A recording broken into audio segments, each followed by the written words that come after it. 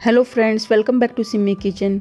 आज मैं आपके साथ आलू टिक्की की रेसिपी शेयर करने जा रही हूँ, जो आप कभी भी अचानक मन करने पर घर पर रखे सामान से फटाफट बना सकते हैं और एकदम क्रिस्पी बनती है।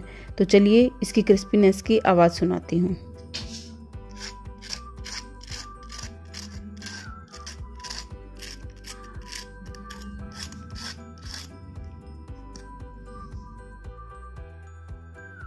आलू टिक्की बनाने के लिए मैंने यहाँ लिए हैं छः उबले हुए आलू, जिन्हें पहले ठंडा किया और बाद में मैश किया है। साथ में दो चम्मच बारीक कटा हुआ हरा धनिया लिया है, दो से तीन हरी मिर्च बारीक कटी हुई और हाफ़ कटोरी चावल का आटा लिया है। थोड़ी सी चिली फ्लेक्स ली है और साथ में काला नमक भी।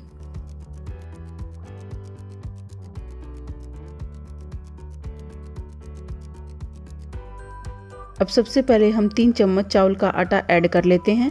और साथ में हरा धनिया, हरी मिर्च और नमक और चिली फ्लेक्स भी ऐड कर लेते हैं।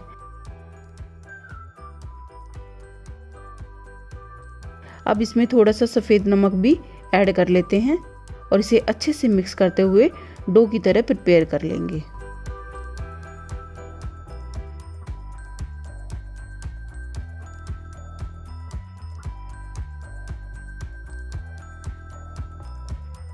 अगर आपको बाइंडिंग बनाते समय ज़रूरत लगे कि थोड़ा सा हमारी बाइंडिंग बनने में परेशानी हो रही है तो आप चावल का आटा थोड़ा सा और मिक्स कर सकते हैं। आलू बिल्कुल अच्छे से मिक्स करके हमें डो की तरह बना लेना है।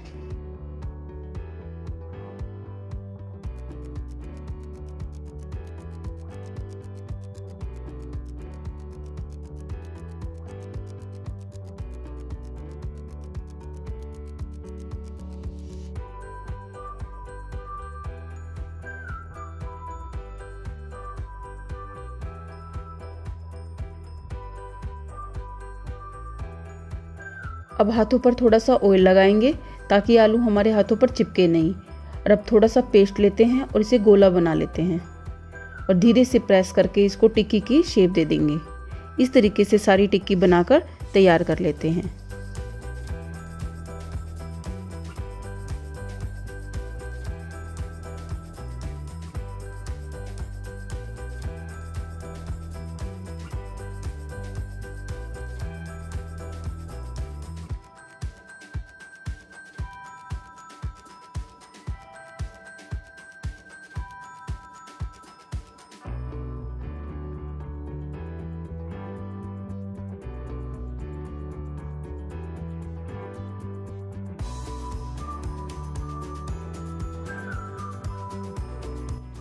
अब एक कढ़ाई या पैन में ऑयल गर्म करने के लिए रख लेते हैं।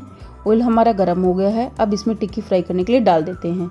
जब टिक्की हमारी ऑयल में डाल दी है तो उसके कुछ देर तक टिक्की को बिल्कुल भी हिलाना नहीं है।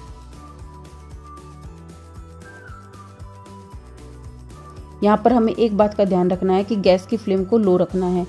लो फ्लेम पर हमें टिक्की को फ्राई करना है। हमने इसमें चावल का आटा मिक्स किया है। अगर हम इसे लो फ्लेम पर अच्छे से फ्राई करेंगे तो टिक्की हमारी अंदर से अच्छे से पक जाएगी और क्रिस्पी बनकर तैयार होगी। टिक्की को हमें ब्राउन होने तक पलटते हुए अच्छे से फ्राई करना है।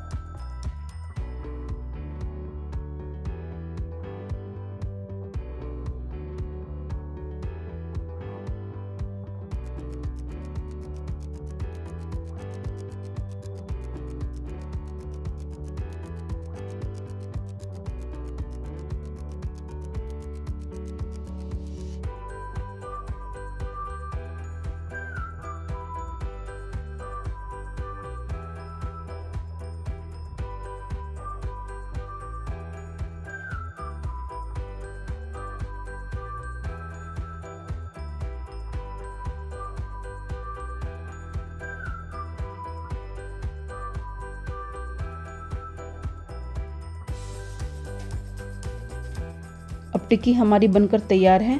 एकदम क्रिस्पी टिक्की बनी है।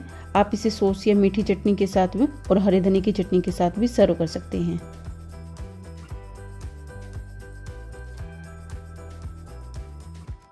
ये देखिए, मैं आपको चटनी के साथ भी सर्व करके दिखा देती हूँ।